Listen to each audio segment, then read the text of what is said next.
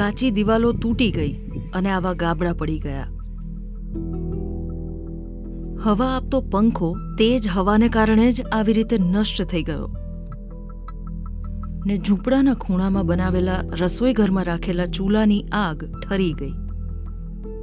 અમરેલીના મોરંગી ગામમાં આવી દશા બીપરજોય વાવાઝોડાને કારણે થઈ છે.